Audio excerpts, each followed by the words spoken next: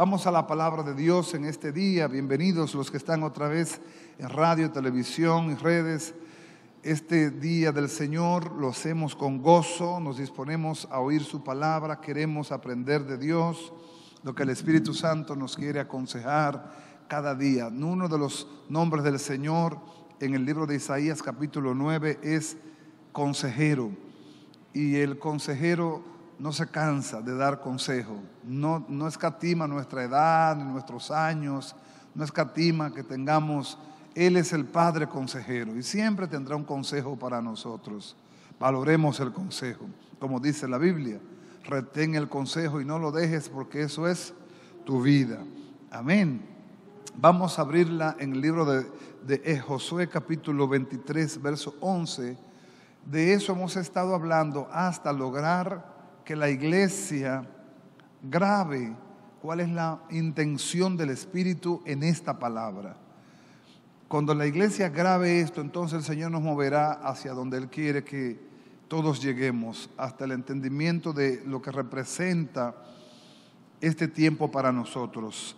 Si, si usted tiene la Biblia abierta, Josué capítulo 23, versículo 11, dice, guardad pues con diligencia vuestras almas para que améis a Jehová vuestro Dios. Esa es la palabra que el Señor nos dio para inicio de este año y tiene mucho que ver con los tiempos, con la hora profética que vivimos y hemos hablado de eso ya en varios servicios anteriores y hemos denominado este tiempo un tiempo de transición. Una transición es cuando hay una movilidad de mando, cuando hay una movilidad de orden, cuando hay una movilidad de poder, una movilidad de autoridad, una transición, cuando se va a cruzar de un periodo a otro periodo. Y la iglesia está cruzando de un periodo a otro periodo. Y yo no sé si usted tiene ojos para ver o oídos para oír o corazón para entender, pero estamos siendo transicionados a la recta profética donde todas las señales se están cumpliendo y alineando para que la iglesia misma despierte y cumpla su rol, el rol de prepararse para el encuentro glorioso con su Señor, pero también el rol de la iglesia ser lo que dice la Biblia que la iglesia es.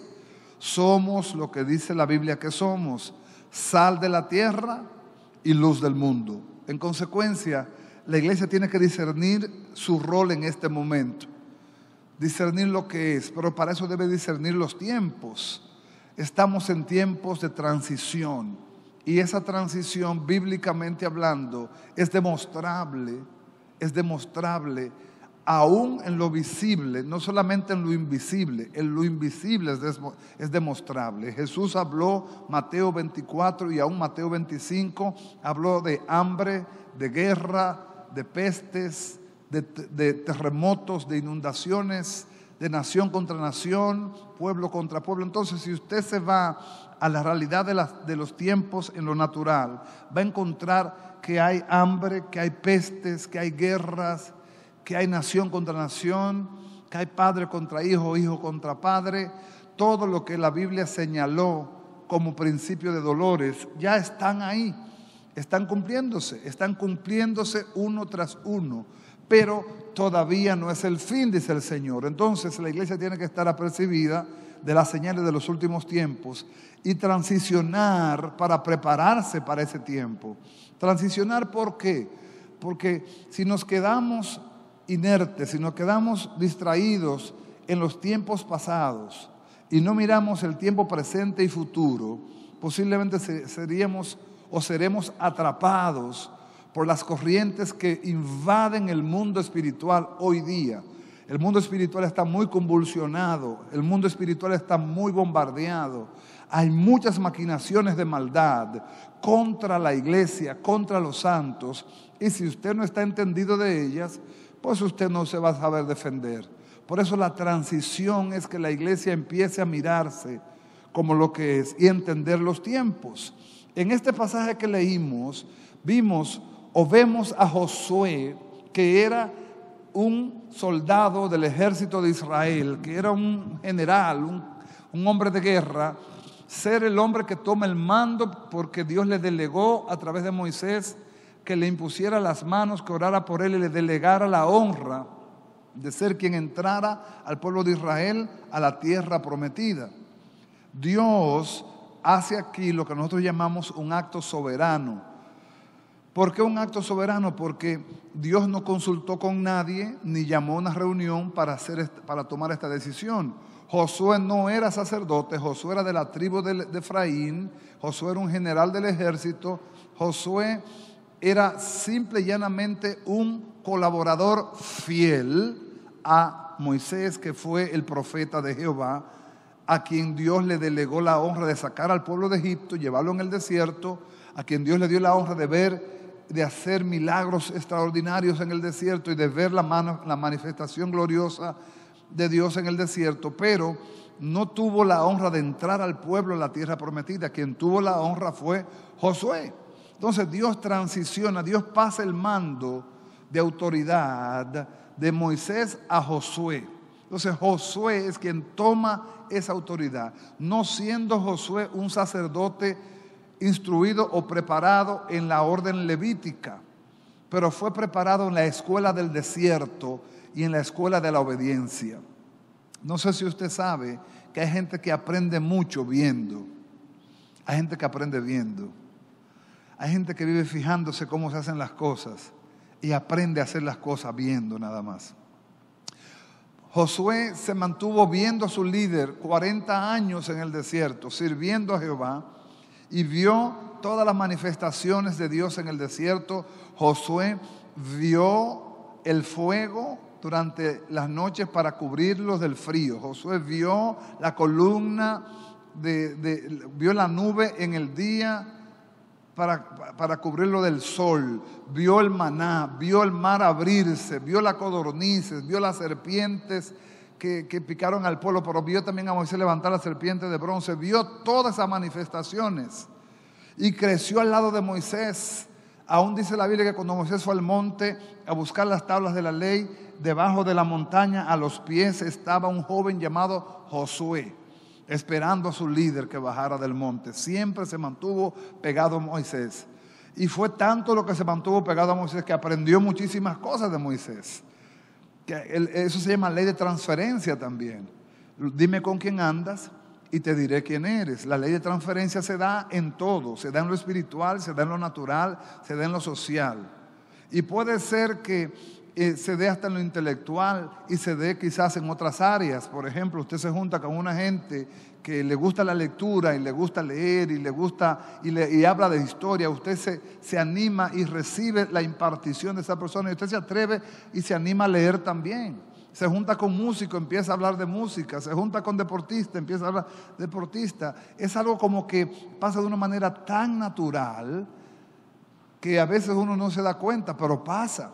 En el mundo espiritual igual. Usted se junta con una persona espiritual, con, con un hombre una mujer espiritual que habla de Dios, que ama a Dios, que conoce la palabra, que inspira a que te acerques a Dios. Sin darte cuenta, tú vas entrando en esa dimensión también. Con Josué pasó exactamente igual, pero ya Josué había entrado en una etapa de la madurez del creyente, que es donde Dios quiere que todos los creyentes lleguemos también. Cuando un creyente se convierte, una persona se convierte a Cristo, recuérdese que la palabra convertirse es la palabra koiné, que significa pararse frente a Dios. Una persona se puede arrepentir y no convertirse necesariamente. Una persona se arrepiente porque le duele el pecado, le duele lo que hizo. ¿O acaso no hemos oído que los borrachos todos los lunes se llaman lunes de arrepentimiento? Porque cuando la resaca viene, viene el dolor de cabeza y viene que no tienen el dinero para la comida o para, pagar la, casa, se arrepienten de haber hecho el desastre que hicieron. Pero eso no significa que cambiaron de estilo de vida. Le duele el pecado, le duele la falta, pero no cambió. Eso pasa con mucha gente. Una gente se puede arrepentir, pero no cambiar. Entonces, arrepentimiento es metanoia, pero convertir, convertirse es coiné que significa pararse frente a Dios. Y todo aquel que se para frente a Dios verá su pecaminosidad delante de Dios. Nadie quedará limpio porque solamente Jesucristo es perfecto. Cuando nos paramos frente a Dios veremos nuestra verdad interior, que por puro que nos veamos por fuera, por dentro Dios nos ve y sabe dónde está lo oculto de nuestro corazón y lo que no es agradable a su corazón. Y por eso todo aquel que se para frente a Dios cae de rodillas pidiendo perdón. Entonces, diciéndole a Dios, ayúdame Señor, que soy, que soy hombre pecador, como le pasó al profeta Isaías. Isaías tuvo una, Cristo, una cristofanía, tuvo una visión del cielo y en esa visión él vio las, faldas de, Jehová que llenaban el templo, él vio los ángeles que volaban revoloteando en el altar, él oyó los ángeles que decían santo, santo, santo, pero no oyó la voz de Jehová, sino hasta que los ángeles tocaron sus labios con el fuego tomado del altar. Fíjese qué interesante. Oyó, oía a los ángeles, pero no oía al Padre. Hasta que Dios mismo no se revela, no lo oímos. Hasta que Dios mismo no trata con nosotros, no cambiamos. Entonces, eh, eh, el, el, nivel de madurez espiritual viene cuando una persona se para y se, se para de frente a Dios y le dice a Dios, aquí estoy yo. Yo no soy un accidente. Yo no soy la complacencia de mamá y papá. Yo soy un diseño creado en Cristo Jesús desde antes de la fundación del mundo.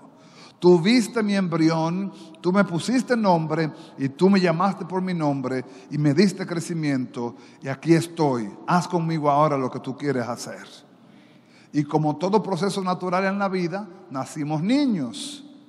Ahí entra la etapa evolutiva, la etapa de crecimiento del, ser humano, donde nacimos niños, pero no nos quedamos niños, subimos, vamos creciendo, vamos madurando. Ahí entra en la vida espiritual, la palabra niño tiene varias definiciones, ya le hemos dado, pero siempre se las, se las repito porque la repetición es madre del aprendizaje. Usted repite tanto hasta que se lo aprende. Entramos a la vida de la fe y somos paidiones, somos niños recién nacidos de leche, que necesitamos leche, abrigo y cuidado en todo el sentido de la palabra, cuando venimos al Señor. Después, cuando ya pasamos de, de, esa etapa primera, que es paidón, entramos a la etapa de un nepio, que es un nuevo creyente, un nuevo convertido, que todavía hay que darle leche, hay que cuidarlo, aunque ya sabe decir palabritas. Después de ese nivel viene otro que se llama tecnón, que es cuando el niño ya tiene voluntad de decisión para muchas cosas, pero se equivoca mucho porque no es maduro, mete mucho la pata, es cristiano, pero es muy inmaduro y todavía hay cosas que no se le pueden delegar. Viene el cuarto nivel que es el huyos, que es el hijo que ya ha madurado, que ya ha entendido, que ya es responsable por sí y puede cuidar a otros también. Y viene el quinto nivel, que es el nivel donde llegó Josué, que es donde debiéramos llegar todos nosotros, los que estamos aquí, los que están en, televisión, al nivel de, de ser un teleios. Esa palabra teleios es el hijo que representa al Padre. Es el hijo que sale en representación de su Padre. Ese teleios es un nivel de madurez que asume responsabilidad por él y por su familia. Hay muchos que hemos tenido que tomar ese lugar en lo natural. A mí me tocó por ser el primogénito de representar a mi padre frente a mis hermanos y a mi mamá. Y desde que yo tengo fuerza para empezar a trabajar, a mí me ha tocado esa bendición. Y yo lo digo como una bendición porque es una honra el cuidar a mi mamá o el cuidar a mis hermanos y ayudar a mi mamá y ayudar a mis hermanos. Porque soy el mayor de la casa, soy el que tengo la mayor edad y tengo la responsabilidad. Pero en el mundo espiritual es igual. Ya Josué era un teleios, ya Josué era un sacerdote.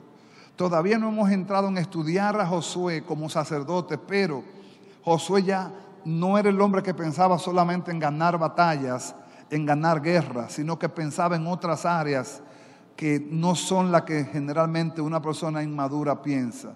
Los maduros piensan así, los inmaduros no. Fíjese cómo Josué pensaba.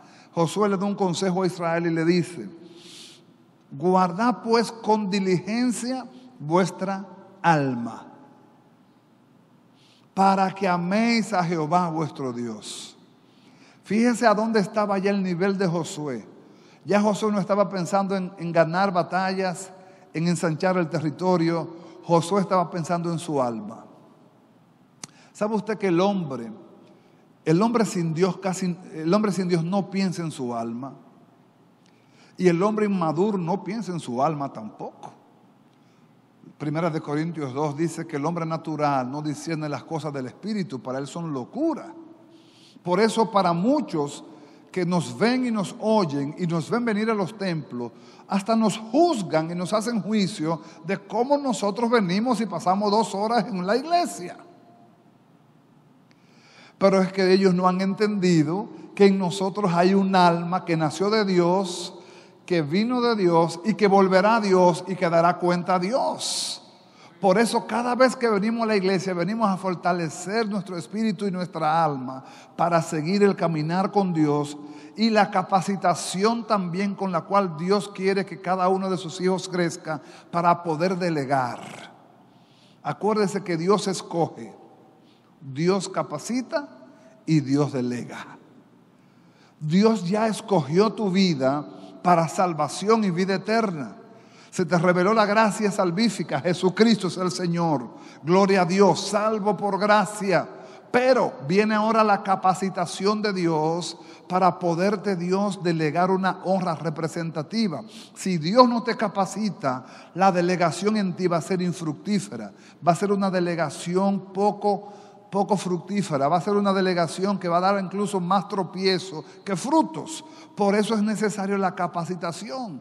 Y cuando yo hablo de capacitación, no estoy hablando de irse a un seminario, a un congreso o irse a una escuela teológica.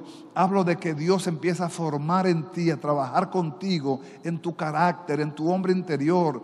Dios empieza a instruirte en los fundamentos para que tú puedas crecer en capacitación con Él y el poder delegarte a ti la honra representativa.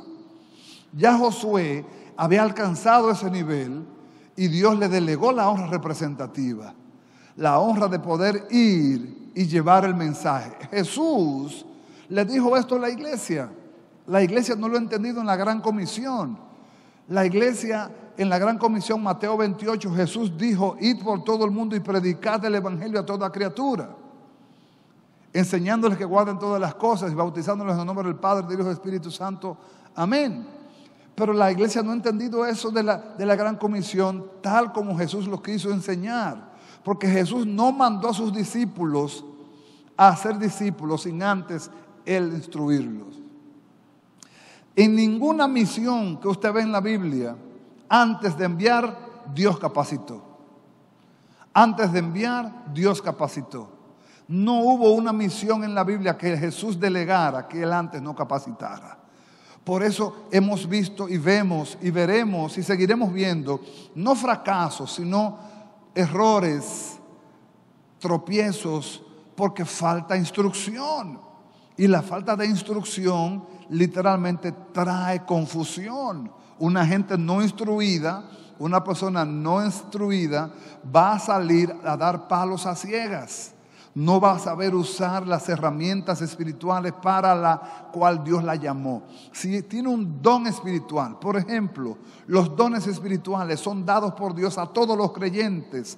Todos los creyentes, por nuevo o por viejo que sea, tienen uno, dos, tres o más dones del Espíritu Santo.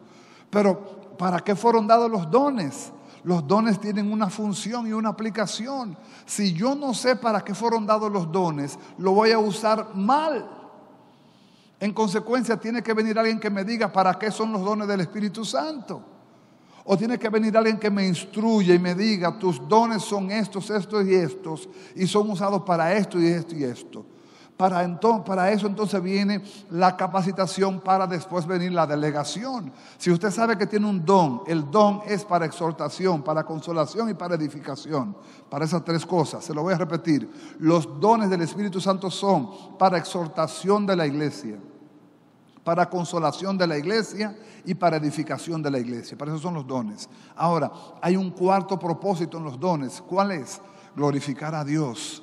Ningún don del Espíritu Santo es para que usted lo vean, lo conozcan, usted se haga famoso, se haga el que sabe más que los demás o se haga rico. No, tampoco. Los dones son para eso, para edificar la iglesia del Señor, para consolar la iglesia del Señor y para exhortar la iglesia del Señor. Pero si usted no lo sabe, ¿cómo lo va a usar? Si usted no sabe que el don que Dios le dio a usted lo dio para que usted sea de bendición a los demás. ¿Cómo usted lo va, a lograr? Al contrario, muchas veces se va a gloriar del don, va a mal usar el don y va a hacer daño con el mismo don. El don del Espíritu, una, una dádiva de Dios para el cumplimiento del propósito. Esos son los dones. Dádivas espirituales, capacitaciones ungidas que son para Dios cumplir su propósito en nosotros. A mí me maravilla la, la verdad de Dios. Porque Dios al que llama, Dios mismo lo capacita y Dios mismo lo ayuda a cumplir el propósito.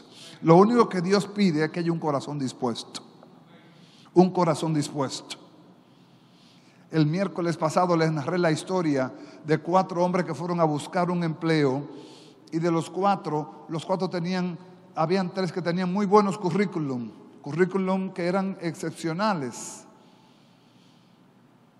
y eran personas capacitadas y el jefe de personal los entrevistó. Era un cubículo abierto y las entrevistas se podían oír. Tú oías. Viene el primero y presenta su currículum. Me dice, yo soy ingeniero, graduado de tal universidad, esto, tengo, hablo inglés, tengo computadora, tengo maestría. Bien, váyase. Lo llamamos. Viene el segundo, yo soy ingeniero, graduado de tal universidad, tengo tantos años de experiencia, esto y esto y esto y esto y esto. Váyase lo llamamos. Viene el tercero, presenta su currículum, soy ingeniero, graduado tal y tal y tal y cual universidad, tengo estos años de experiencia, he trabajado en tal y tal y tal lugares, váyase. El cuarto, cuando yo todos los currículums, dijo, yo me voy de aquí, porque ¿qué yo busco aquí? Estos, estos hombres son tremendos, yo no tengo tanta capacidad como ellos. Entonces, cuando se iba, el jefe de personal dice, ¿y usted? Dice, no, yo me voy. Porque ¿qué busco yo aquí detrás de tres hombres como estos tan capacitados? Dice, no, no, no, pero por lo menos venga a la entrevista, déjeme escucharlo. Entonces el hombre se sienta y el jefe personal le dice, dígame, ¿y usted qué sabe hacer? Dice, bueno, mire, yo no tengo toda la maestría que tienen ellos, ni tengo todos los posgrados que tienen ellos, ni tengo todos los cursos que tienen ellos, pero yo sé seguir órdenes. Yo sé obedecer lo que me mandan sea, yo sé seguir las órdenes que me dan. Y el jefe se maravilló y dijo, el trabajo es tuyo. Porque aquí no necesitamos gente que sepa mucho, sino gente que sepa obedecer. El gran problema de muchos creyentes es que andan procurando saber mucho y no obedecer mucho. Miren, amado, es mejor saber poco y obedecer lo poco que usted sabe y no saber mucho y no aplicar lo que usted sabe. Es mejor saberse tres versículos bíblicos y aplicarlos y no saberse la Biblia de tapa a tapa y ser un teórico de ella. ¿Alguien está aquí en esta, en esta hora? Es mejor. ¿Por qué? Porque la eficacia no va a ser de, que tú sepas mucho, la eficacia va a ser de que tú apliques lo que sabes. Josué recibe un mandamiento de Dios para, para entrar al pueblo a la tierra prometida tiene que hacer una función sacerdotal. Lo vamos a leer después cuando llegue el tiempo. Pero ya José, Josué está terminando su, vida, terrenalmente hablando. Y Josué lo que le preocupa ahora no es ganar batalla. Lo que le preocupa ahora a Josué no es ensanchar el territorio. Lo que le preocupa ahora a Josué no es seguir conquistando territorio, venciendo enemigos. Lo que le preocupa a Josué ahora es las almas de Israel. Eso pasa con nosotros los pastores. Todos los pastores alguna vez hemos soñado en predicar en un estadio. No hay pastor que tenga tanta humildad que diga que no, que no le interesa o que nunca le ha interesado. Todos. Usted le pregunta a mi pastor cuando él era joven, cuando él tenía, aunque él es joven, todavía tiene su, su vigorosidad y su fortaleza. Cuando tú, cuando tú le preguntas en tus principios, ¿cómo, cómo quién tú querías ser? Dice, bueno, yo quería llenar estadios. Todos los pastores, pequeños, grandes, medianos, todos hemos soñado con, con, tener un estadio, con tener una iglesia de 20, 30, 40 mil personas, todos. Pero vamos llegando a niveles de entender que lo más importante no es tener una iglesia llena de gente, sino es tener una iglesia llena de Dios. No es lo mismo, ni es igual. Entonces, llega un momento en que tú entras en el nivel de que, que Dios quiere revelarte. Lo más importante no es tener una iglesia llena. Lo más importante es tener una iglesia entendida de su alma. Una iglesia que sepa velar por su alma. Una iglesia que sepa cuidar su alma porque está cuidando lo eterno. ¿Y de quién va a depender eso? Va a depender mucho de la instrucción. Va a depender mucho de la instrucción. Voy a repetir, va a depender mucho de la instrucción. ¿Qué le dice, qué le dice Josué a su, a, su, a su ejército entonces? ¿Qué le dice Josué a Israel? Guardad guardad con diligencia vuestras almas para que améis a Jehová. ¿Qué fue lo que le dijo que guardara? El alma. ¿Con qué motivación? Para que puedan amar a Jehová. Porque si el alma se corrompe, no podrá amar a Dios como Dios pide y espera. Si el alma se daña, no podrá amar a Dios como Dios está demandando ser amado. Por eso Jesús, por eso el Señor le da a, Israel el gran mandamiento de Deuteronomio 6. Escucha Israel, Jehová tu Dios, Jehová tu Dios uno es. Y amarás a Jehová tu Dios con toda tu mente, con todo tu corazón y con toda tu alma. Guarda tu, alma para que ames a Jehová. Guarda tus pensamientos. Guarda tus emociones. Guarda tu voluntad Guárdalo que no se vaya a contaminar de tal manera que se pueda bajar en ti la calidad de tu amor por Dios. En la medida que nuestras almas son debilitadas, el amor se va enfriando. Déjeme decirle algo a los que sirven al Señor, a los que son colaboradores en esta casa o sirven al Señor en cualquier lugar. En la medida que usted va bajando el amor por Dios, su servicio a Dios se vuelve rutinario. Es una rutina servir a Dios. Ya se vuelve una carga servir a Dios. Ya no hay deleite. ¿Por qué? Porque se perdió la chispa que enciende el deleite, que se llama el amor. Cuando hay amor por Dios, cualquier delegación, cualquier asignación, cualquier trabajo que tenga que, ver, que tenga que ver con mi Dios es deleitoso. ¿Por qué? Porque amo a Jehová. Y no importa dónde me pongan, no importa lo que me digan que tengo que hacer, lo haré con gozo, lo haré con esmero, lo haré con alegría porque es para Jehová mi Dios. Entonces, eh, Dios le dice a Josué, guarden el alma para que amen a Jehová vuestro Dios. Guarden su alma, guárdense de las contaminaciones de este mundo, guárdense de los pensamientos que vienen y de las comparaciones que vienen. Guárdense de las murmuraciones que vienen. ¿Por qué? Porque muchas veces paradójicamente, cuando una persona se quiere consagrar más a Dios, más oposiciones tiene. Es algo como que uno dice, esto es raro yo, debiera, yo no debiera tener tantas luchas para consagrarme. Sin embargo, mientras más quiero consagrarme, encuentro en mi cuerpo lucha y encuentro alrededor mío luchas. Personas que no me colaboran al propósito de mi crecimiento espiritual. Por eso es necesario aún filtrar con quién hago alianza.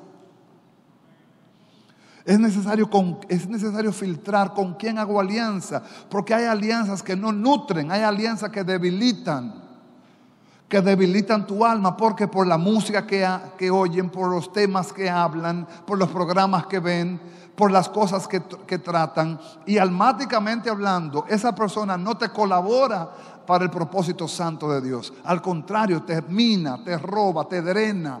Y al drenarte te debilita. Y una persona debilitada es propensa a cualquier trampa del diablo. Estamos acá. Es necesario abrir los ojos porque estamos minados alrededor nuestro de relaciones, de compañeros de trabajo, de amigos, de familia, bombardeos mediáticos, radio, televisión, redes, llenos de informaciones falsas y contrarias, que si uno no abre los ojos a tiempo, uno cae en la red. Amado, yo tengo también un celular. Yo también veo, abro el YouTube y me pongo a ver y veo los títulos y me hago una pregunta. Y eso es lo que les voy a sugerir en esta mañana para que usted también lo considere. Miren, Cuando usted abre una página de YouTube, lo primero que usted debe preguntarse, ¿me edifica esto? ¿Me edifica? Si no me edifica, pues no lo veo. Sobre todo del morbo evangélico, de las cosas que uno ve, de las especulaciones que uno oye, cosas que fulano soñó, que fulano vio, que fulano le dijeron, que fulano tuvo un sentir, que fulano pensó, que fulano se... Óigame, cuántas cosas uno oye y ve, si uno no está fundamentado bien en la palabra, fácilmente usted es atrapado en una de esas redes distraído, desenfocado y quitado del medio también, porque eso es lo, que el diablo a la larga persigue. En este tiempo de pandemia son muchos los creyentes que se han desviado por estar viendo y oyendo cosas que no edifican sus almas. Son muchos los creyentes que han caído en redes de maldad y de maquinaciones sutiles que le han alejado de la verdad por no discernir que hay detrás de esa maquinación. ¿Cuál? Hay una maquinación. ¿Cuál? Desviarte. ¿Cuál? Desenfocarte. A la larga perder el trillo puesto la mano en el arado, mirar hacia atrás. Algunos han dejado el primer amor, algunos han bajado la guardia. El enemigo ha aprovechado para que el escudo se baje. Si bajó el escudo, eres hombre muerto en la guerra. Y muchos han literalmente sucumbido. No estoy diciendo que se hayan perdido, estoy diciendo que se han caído, que están en el suelo espiritualmente. No estoy diciendo que se van a ir al infierno porque el Dios del cielo tiene misericordia. Y estamos orando para que Dios los restaure los rescate, los despierte y los traiga otra vez. Porque de alguna manera o de otra Dios lo puede hacer y lo hará también por el clamor de los justos. Pero nosotros tenemos que estar en una alerta por la transición profética de los tiempos. Alerta para no dejarnos distraer, para no dejarnos arrastrar por las corrientes de este mundo que muchas veces vienen con la intención simple y llanamente de desenfocarte. ¿O acaso no hemos leído cuando Pedro caminó sobre las aguas? Jesús se le aparece a Pedro a la, cuarta vigilia de la, mañana, de la, de la, madrugada, ya la última, y se le aparece eh, de una manera extraordinaria caminando sobre las aguas. Pedro lo ve y dice, Señor, eres tú. Si eres tú, manda que yo vaya. Jesús le dice, Pedro, ven. Pedro sale del arca, de la barca, camina sobre las las aguas, pero las olas y los vientos vinieron contra Pedro y sacudieron a Pedro un poco, de manera tal que Pedro quitó los ojos de Jesús y empezó a hundirse en medio de las aguas. Cuando empezó a hundirse, clamó. Ojalá muchos que, que hoy nos ven y oyen y que saben que han empezado a hundirse ya, clamen a Dios. Y Pedro le dijo, Señor, sálvame que me hundo. Pedro quitó los ojos de Jesús, pero Jesús no quitó los ojos de Pedro. Por eso es que nos da el Señor la tranquilidad de saber que aunque nosotros bajemos la guardia, Dios siempre tiene la guardia arriba. Y Él siempre enviará una palabra en su tiempo para despertarnos, para hacernos entendidos, para hacernos apercibidos de que no podemos dormir como duermen los demás. Vinieron las olas, vinieron los vientos, Pedro titubeó, pero Jesús estuvo firme. Amado, esto es un tiempo para estar firmes. Aunque vengamos, aunque veamos las olas y los vientos venir, tenemos que seguir firmes en la roca, porque fiel es el que prometió. Nosotros no podemos ahora mismo claudicar entre dos pensamientos. No que las cosas, no que los tiempos, amados, los tiempos irán de mal en peor, pero nosotros nos preparamos para estar firmes en el día malo. Nos preparamos para estar firmes en el día en que se levante lo que se levante. Sabemos que nuestro Redentor vive. Y tenemos claridad de que la verdad profética es esta. Conoce Dios a los que son de Él, conoce Dios a los que son suyos. Por eso Dios llama a la iglesia a apartarse de toda iniquidad para poder amar a Jehová, nuestro Dios, con todo nuestro corazón. Pero con diligencia, dice, Josué, con diligencia atiendan sus almas. Amados, cuando una gente se le detecta una enfermedad en el cuerpo natural, hace lo que sea por buscar solución rápida. Ahora mismo, con esta cuestión del virus, una gente si tiene un dolor de cabeza, si tiene fiebre, le duele mucho el cuerpo, de inmediato anda buscando un protocolo médico, porque de una vez dice, hasta, hasta él mismo se proclama, ay, cuidado si yo tengo COVID, y de una vez va a buscar una manera de ponerse un tratamiento. Sin embargo, no nos damos cuenta cuando se nos pasan uno o dos días sin leer la Biblia, uno o dos días sin orar, uno o dos semanas sin congregarnos, y se nos pasa como, como por encima y no despertamos y no reaccionamos. Entonces decimos, pero ven acá, ¿cómo es posible que yo tenga un cuerpo espiritual y se me pasen dos semanas sin alimentarlo? Me muero. Me muero espiritual, almáticamente estoy débil, tan débil y vulnerable que cualquier obra del diablo puede venir a atacarme y no tengo cómo resistirla. Y la única manera de poder estar firme y fuerte es si, me, si me someto a Dios según su palabra, bajo la oración, para que cuando venga el mal, mi escudo esté firme y fuerte para resistir y rebotar todas las obras de las tinieblas. Pero para eso tengo que entender que debo ser diligente, amado. Tengo tiempo para todo, para todo hay tiempo, dice la Biblia. Hemos leímos ayer en el matutino que hay 28 tiempos bíblicos, pero hay un tiempo que yo no puedo negociar ni puedo postergar. Es el tiempo de mi intimidad con Dios, es el tiempo de mi, de mi estudio de la palabra, es el tiempo de mi comunión con Dios, porque de ahí depende mi fuerza y también la de otros que vendrán a mí, que yo tendré que ayudarles. Si, si yo no tengo, ¿qué voy a dar? Si yo no tengo, ¿qué voy a dar? Tengo que tener para dar. Por eso es necesario, mis amados. Yo oro al Señor, yo ruego al Señor que ustedes que están en sintonía en esta mañana puedan, igual que yo, igual que todos los que estamos aquí, reflexionar en la hora profética. No estoy como para imponerle nada, simplemente estoy como para exhortarle. Hermanos, velemos, seamos sobrios, entendamos la hora que vivimos. No son días tan sencillos como los días que antes vivimos. Estos son los días que las profecías anuncian. Podríamos verlo de dos maneras. Podríamos verlo como privilegiados de vivir la profecía, como privilegiados de vivir los tiempos postreros, pero también podríamos verlo como tiempos donde el que se descuida muere en la batalla. Estos son los días de vivir con los ojos abiertos, espiritualmente hablando. Estos son los días de vivir velando y orando en todo tiempo, porque nuestro adversario, el diablo, anda buscando a quien devorar como un león rugiente. Estos son los días donde la iglesia tiene que apercibirse de la hora profética y en vez de distraerse, enfocarse.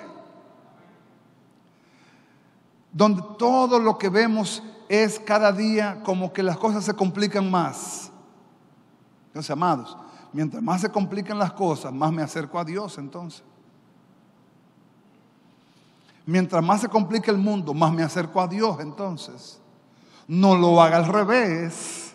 No sea negligente, sea inteligente y sea diligente. Porque eso traerá para usted fortaleza, traerá cobertura, traerá guianza, traerá dirección, para usted primero y también para los que están alrededor de usted. No solamente hablamos por usted solamente, sino también por el entorno. Si usted no tiene, ¿qué va a dar? Si usted no tiene fuerza, ¿a quién va a levantar? Si usted no está direccionado, ¿a quién usted va a direccionar? Primero fortalezcase usted, diríjase eh, directamente a la presencia de Dios, coma del pan del cielo, fortalezcase en Dios para que usted pueda levantar a los que están caídos en el nombre de Jesús. Amén, mis amados. El tiempo se nos va limitando por razones obvias. Ustedes y yo sabemos lo que está pasando fuera, pero no queremos nosotros simplemente dejar la palabra en el aire. Queremos que usted aterrice en la aplicación, sea diligente, disponga su corazón, haga como Daniel, Tiempos difíciles vive la tierra, pero mi corazón está dispuesto a buscar a Jehová, a estudiar su palabra, aprender de Él, acercarme a Él y no dejar que nada ni nadie me desenfoque, porque estos son los tiempos donde la fe está siendo probada por fuego. Y no voy a dejarme desenfocar por nada ni nadie porque Dios me ha estado hablando a tiempo. Bienaventurado el pueblo a quien Dios le habla a tiempo, a quien Dios le alerta, a quien Dios lo despierta, a quien Dios le dice, velad y orad en todo tiempo. Ese es el mandamiento. Iglesia del Señor, este año 2021 empezó, pero tenemos que ser más diligentes que nunca en velar por nuestras almas. Seamos cuidadosos con la salud, seamos prudentes con los gastos y las finanzas, pero con las almas seamos diligentes. No seamos negligentes con el alma, aliméntese, lea su Biblia, ore, congréguese, manténgase conectado por las redes, busque alimento espiritual sólido, puro, no adulterado, no busque entretenimiento simplemente en un púlpito. No, no, no, no, no. Ya esa etapa pasó. Estamos en la etapa de velar y fortalecernos para estar firmes en el día malo. En el nombre de Jesús. Amén, mis amados.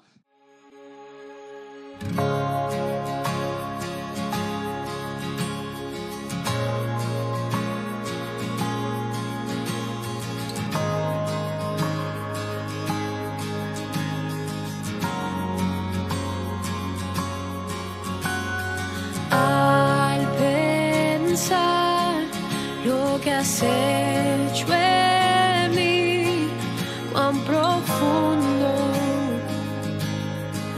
tú me amaste.